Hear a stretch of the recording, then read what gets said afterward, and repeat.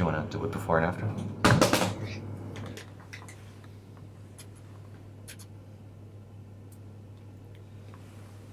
Are you uh, videoing? Yeah. That is pretty cool.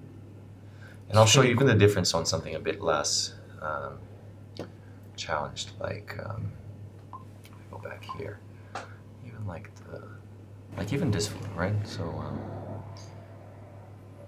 you see, there's a darker area over here, which um,